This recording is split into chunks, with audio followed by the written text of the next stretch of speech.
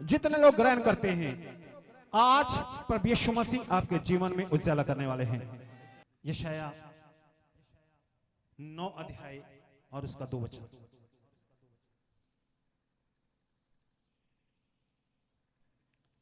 Thank you Jesus जो लोग अंधेरे में चल रहे थे उन्होंने बड़ा उजाला देखा। जो लोग अंधियारे में चल रहे थे उन्होंने बड़ा उजाला देखा। उन्होंने बड़ा उजाला देखा। और जो लोग घोर अंधकार से भरे हुए मृत्यु के देश में रहते थे जो लोग घोर अंधकार से भरे हुए मृत्यु के देश में रहते थे उन पर ज्योति चमकी। उन पर ज्योति चमकी। हालेलुया। जो लोग अंधियारे में चल रहे थे उन्होंने बड़ा उज्याला देखा। उन्होंने बड़ा उज्याला देखा। हालेलुया। जो लोग अंधियारे में रह रहे थे जो लोग पापों में रह रहे थे जो लोग नशे में रह रहे थे जो लोग दुष्टात्मा में रह रहे थे, जो लोग बीमारियों में रह रहे थे, उन्होंने बड़ा उजाला देखा। Hallelujah hallelujah. उन्होंने बड़ा उजाला देखा और मती चार अध्याय, उसका 16 और 17 वचन में भी लिखा हुआ है। मती की अंजील चार अध्याय, उसका 16 और 17 वचन। हालेलुया। प्रभु यीशु मसीह सर को छोड़कर इस धरती पर आए, अंधकार को खत्म करने के लिए। और आपकी ज़िंदगी में उजाला भरने के लिए।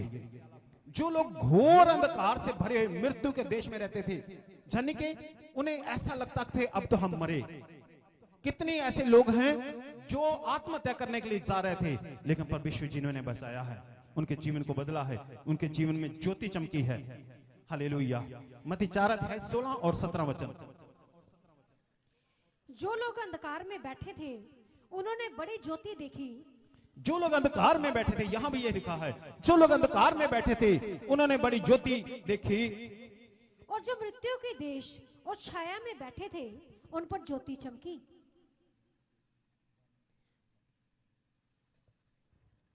हाँ फिर से पढ़ो। जो लोग अंधकार में बैठे थे हाँ। उन्होंने बड़ी ज्योति देखी। हम्म, और जो मृत्यु के देश और छाया में बैठे थे हाँ। उन पर ज्योति चमकी। हाँ सोलह और सत्रह। उस समय से प्रभु यीशु ने प्रचार करना और ये कहना आरंभ किया, मन फिराओ, क्योंकि स्वर्ग का राज्य निकट आया है. मन फिराओ, क्योंकि स्वर्ग का राज्य निकट आ गया है। जो लोग अंधेरे में चल रहे थे, उन्होंने बड़ी ज्योति देखी उजाला देखा। हालेलुया। आज प्रभु यीशु मसीह आपके जीवन में उजाला करने वाले हैं। जितने लोग ग्रहण करते हैं, आज प्रभु यीशु मसीह आपके जीवन में उजाला करने वाले हैं। प्रभु यीशु जी ने कहा, स्वर्ग का राज्य निकट है। स्वर्ग का राज्य निकट है। स्वर्ग का राज्य निकट है। पहले ऐसा कहा जाता था, परमेश्वर को पाना बहुत कठिन है। लेकिन परमेश्वर जी ने कहा, स्वर्ग का राज्य निकट है। स्वर्ग का राज्य निकट है। स्वर्ग का राज्य निकट है। हालेलुया। हालेलुया। हालेलुया। और प्रभु मसीह के जन्म से संबंधित मैं आपको बताना चाह रहा हूँ मती की इंजील एक अध्याय अठारह वचन से 25 वचन तक हम लोग जल्दी से उसके पढ़िएगा। मती एक अध्याय अठारह वचन से लेकर। प्रभु यीशु मसीह का जन्म इस प्रकार से हुआ। हाँ सो अगर हमारे बीच में यहाँ पर कोई नए हैं प्रभु यीशु मसीह का जन्म इस प्रकार से हुआ। कि जब उसकी माता मरियम की मंगनी यूसुफ के साथ हो गई तो उनके इकट्ठा होने से पहले ही वे पवित्र आत्मा की ओर से गर्भवती पाई गई। हाँ, तो उसकी मंगनी यूसुफ नाम के एक व्यक्ति से हुई थी और उनकी शादी से पहले ही वो गर्भवती हुई। अतः उसके पति यूसुफ ने जो धर्मी था और उसे बदनाम करना नहीं चाहता था उसे चुपके से त्याग देने का विचार किया। हाँ। जब वे इन बातों में जब वे इन बातों के सोच ही रहा था तो प्रभु का स्वर्गदूत उसे स्वप्न में दिखाई देकर कहने लगा हे यूसुफ दाऊद की संतान तू अपनी पत्नी मरियम को अपने यहाँ ले आने से मत डर, क्योंकि जो उसके गर्भ में है, वे पवित्र आत्मा की ओर से हैं। हालेलुया। सो स्वर्गदूत ने कहा, जो उसके गर्भ में है, वह पवित्र आत्मा की ओर से है। जो उसके गर्भ में है, वह पवित्र आत्मा की ओर से है। इन दिनों में बहुत सी बातें जो हैं परमेश्वर मसीह के जन्म को लेकर होती हैं, कि कुआरी मरियम से परमेश्वर मसीह का जन्म कैसे हुआ? वो तो एक औरत थी। परमेश्वर ने पहला बंदा कैसे बनाया? बाइबल कहती है, परमेश्वर जब आदम को बनाया तो मिट्टी से बनाया। परमेश्वर सब कुछ कर सकते हैं और परमेश्वर कुछ भी असंभव नहीं है। तो ये बात यह लिखी है, जो उसके गर्भ में है, वह पवित्र आत्मा की ओर से है। हाँ। वे पुत्र जनेगी और तो उसका नाम यीशु रखना। हाँ वो एक पुत्र को जनेगी और तो उसका नाम यीशु रखना। क्योंकि वे अपने लोगों का उनके पापों से उद्धार करेगा। ताकि वो अपने लोगों का उनके पापों से उद्धार करेगा। पापों से उद्धार करेगा। हालेलुया। पर यीशु मसीह पवित्र आत्मा के द्वारा इसलिए पैदा हुआ ताकि वो लोगों का पापों से उद्धार कर सके। पर यीशु मसीह जो बेतरी हुए जैसे यूहन्ना में एक अध्याय में लिखा है, पर यीशु मसीह जब बेतरी हुए स्वर्ग छोड़कर धरती पर आए तब एक नए धर्म की स्थापना करने के लिए नहीं आए, बल्कि इसलिए आए ताकि लोग पापों से उद्धार पा सकें। हालेलुया। हालेलुया। हाँ पाप अपने लोगों का पापों से उद्धार करेगा। 25 वचन तक पढ़िए। ये सब इसलिए हुआ कि जो वचन प्रभु ने भविष्यवक्ता के द्वारा कहा था वे पूरा हो। देखो एक कुंवारी गर्भवती होगी। हज़ारों साल पहले नबियों के द्वारा लिखा गया था कि देखो एक कुआरी गर्भवती होगी। और एक पुत्र जनेगी। हाँ। और उसका नाम इमानुअल रखा जाएगा। हाँ इमानुअल जानी के परमेश्वर हमारे संग होगा। जिसका अर्थ है परमेश्वर हमारे साथ। परमेश्वर हमारे साथ। हालेलुया। हालेलुया। तो ऐसा ही हुआ। और लुका की इंजील में लिखा हुआ है लुका एक अध्याय उसका 26 वचन से हम लोग पढ़ेंगे। आप तैयार हो जाइए अपने जीवन में आशयों को पाने के लिए स्वर्गीय आशयों को पाने के लिए लुका एक अध्याय 26 वचन से हम लोग पढ़ेंगे।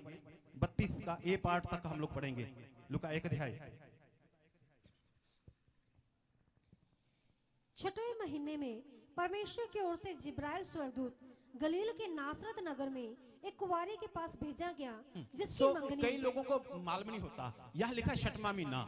तो इसका मतलब जून नहीं है जून के महीने में।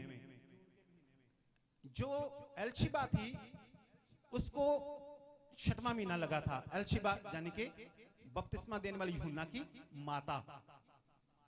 उसको इसलिए ये लिखा उसके समय की बात लिखी हुई है। हम्म, फिर से पढ़ो।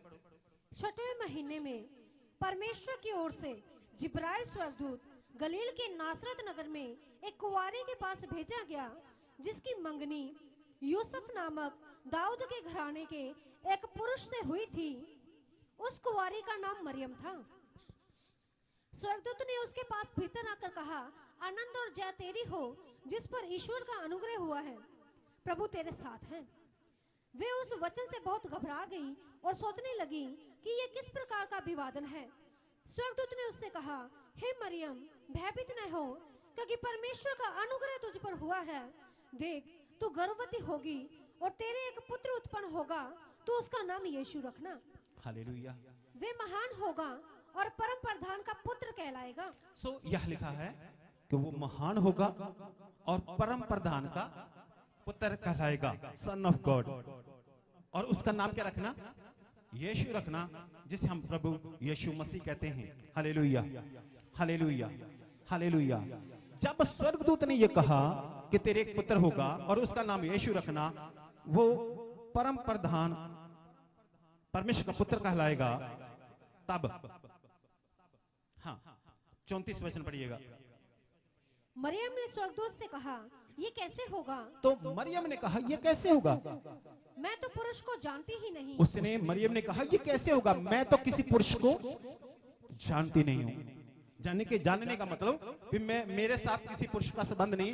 ये कैसे होगा? स्वर्गदूत आकर कह रहा है तू एक पुत्र को जन्म देगी। उसका नाम यीशु रखना। वो पर प्रधान परमेश्वर का पुत्र कहलाएगा। वो कहती ये कैसे होगा? ये कैसे होगा? तो स्वर्गदूत ने कहा स्वर्गदूत ने उसको उत्तर दिया पवित्र आत्मा तुझ पर उतरेगा और परम प्रधान की सामर्थ तुझ पर छाया करेगी। पवित्र आत्मा तुझ पर उतरेगा और परम प्रधान परमेश्वर की छाया तुझ पर आएगी।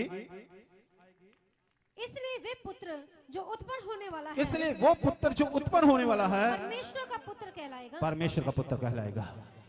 हालेलुया। हालेलुया। हालेलुया। हालेलुया। आपका ध्यान में इस बात की ओर दिलाना चाह रहा हूँ,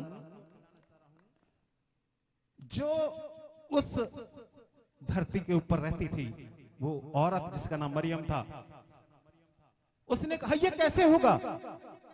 ये कैसे होगा? ये हो ही नहीं सकता। जो स्वर्ग से स्वर्गदूत आया थी, उसने कहा, हो सकता है। जो स्वर्ग से संदेश आया था, वो था हो सकता है। क्योंकि मरियम सोच रही थी, आज तक कभी नहीं ऐसा हुआ। आज तक कभी भी मेरे दादा ने, परदादा ने कभी भी किसी ने नहीं बताया था इस घटना को कि एक कुआरी औरत के संतान हुई और उसके स्वर्गदूत उसके पास आया और ये सब कुछ हुआ। वो कहती ये कैसे हो सकता है? लेकिन जो स्वर्ग से संदेश आया था, स्वर्गदूत ने कहा, यह हो सकता है। कैसे हो सकता है? तरीका लिखा हुआ, पैंतीस वचन में लिखा है, पवित्र आत्मा तुम पर उतरेगा, तब होगा। हालेलुया। हालेलुया। हालेलुया। हालेलुया। पवित्र आत्मा तुझ पर उतरेगा, तब होगा। हले हालेलुया। ऐसे ही हम लोग जो हैं, जो संसार के लोग हैं, ये सोचते ये कैसे हो सकता है? आज मैं आपसे कहना चाहता हूँ, ये स्वर्ग का संदेश है, जब पवित्र आत्मा तुम पर उतरेगा, तब होगा। जब पवित्र आत्मा तुम पर उतरेगा, ये तब होगा। जब पवित्र आत्मा तुम पर उतरेगा, तब होगा। हले हालेलुया हालेलुया। मरियम कह रही है, मैंने कभी ऐसा सुना नहीं है, ऐसा नहीं हो सकता। स्वर्ग का संदेश था, पवित्र आत्मा तुम पर उतरेगा तब होगा। हालेलुया। आज परमेश्वर आपके जीवनों को बदलना चाहते हैं। आज परमेश्वर आपके हालातों को बदलना चाहते हैं। आप कहते हैं, ये कैसे होगा? आप अपनी सोच सोचते हैं। आप संसार की सोच सोचते हैं। स्वर्ग का संदेश है, आपके लिए, जब पवित्र आत्मा तुम पर उतरेगा, तब होगा। हालेलुया हालेलुया हालेलुया जब हम कहते हैं पर यीशु मसीह के नाम से चंगाई आपकी ओर आती है? बहुत से लोग कहते हैं, ये कैसे होगा? मैं आपको से ये कहना चाह रहा हूँ, स्वर्ग का संदेश है जब पवित्र आत्मा तुम पर उतरेगा, तब होगा।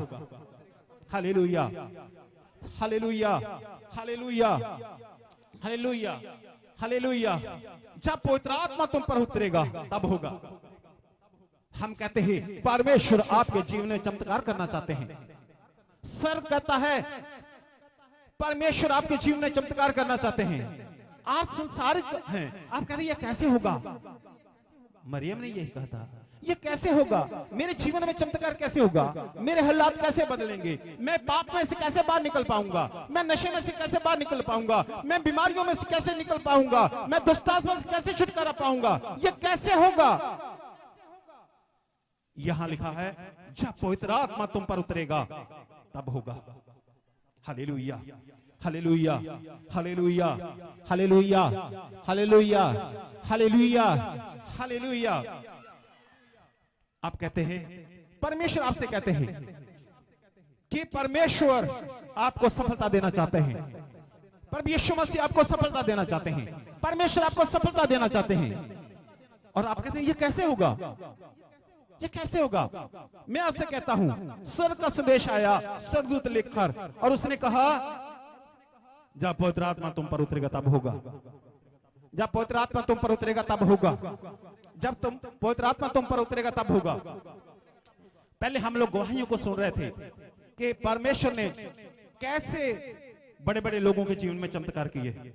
लोगों को आशीष दी, लोगों को छुटकारा दिया। आप जब हम कहते हैं पर मसीह के नाम से आपकी ओर छुटकारा आता है। आप कहते हैं, ये कैसे होगा? कुछ लोग तो उसे ग्रहण करते हैं हाँ मेरे लिए हो सकता है। क्योंकि परमेश्वर से सब कुछ हो सकता है।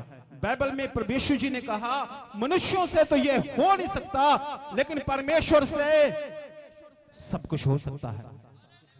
मनुष्यों से तो यह हो नहीं सकता तो हम कौन हैं? मनुष्य हैं। हम अपना सोचते हैं ये कैसे होगा? मरियम कहती ये कैसे होगा? परमेश्वर कहते हैं, जब पवित्र आत्मा तुझ पर उतरेगा, तब होगा। आप कहते हैं, मेरे पति पाप में गिरे हुए हैं। आप कहते हैं, मेरे पति जो हैं, वो नशे में गिरे हुए हैं। आप कहते हैं, मेरे पति या आपके घर के किसी किसी के बेटे, जवान हैं। हालात ऐसे हैं।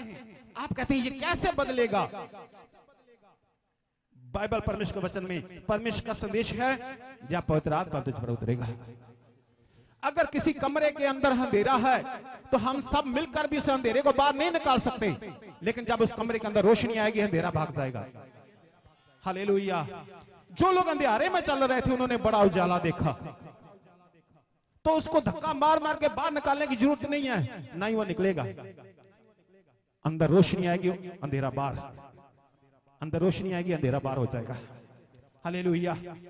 हालेलुया। हालेलुया। आप कहते ये कैसे होगा? मेरा परिवार के हालात कैसे बदलेंगे? मेरे घर के हालात कैसे बदलेंगे?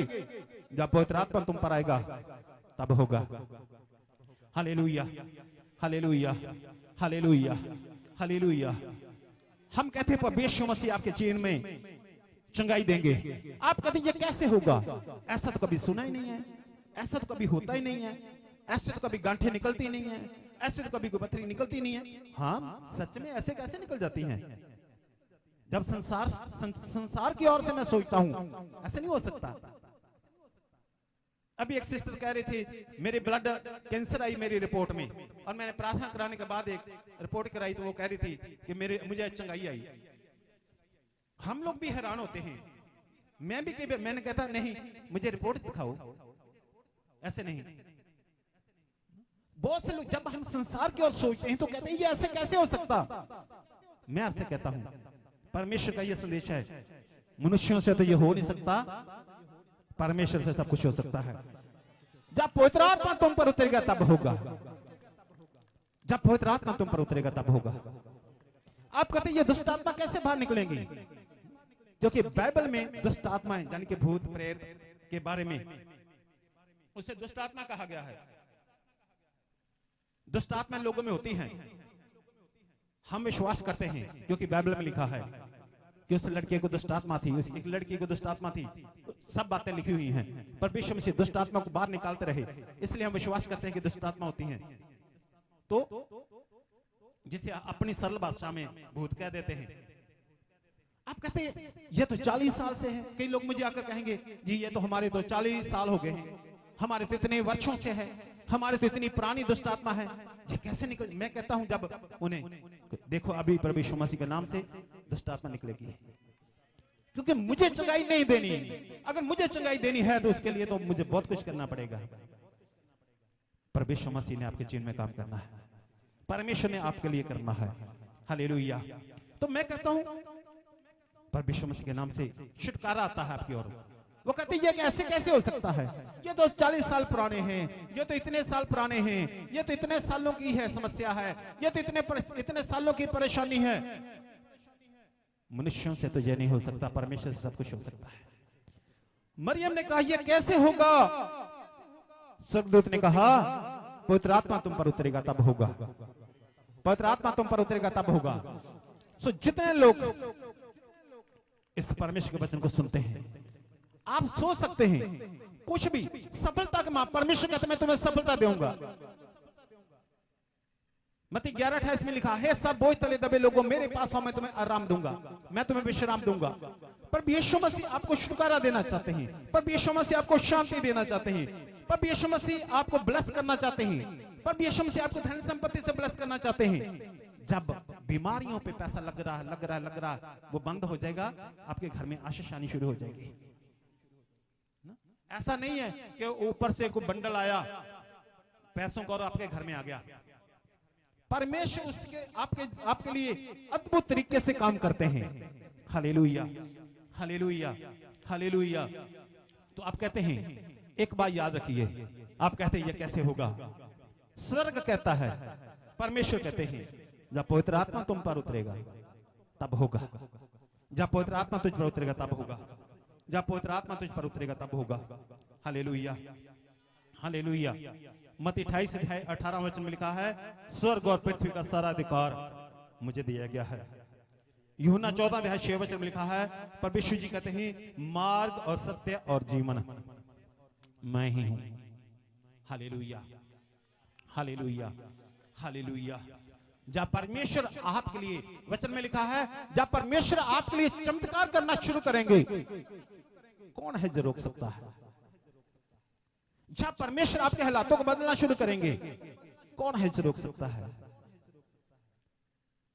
सच में परमेश्वर आपसे प्रेम करते हैं।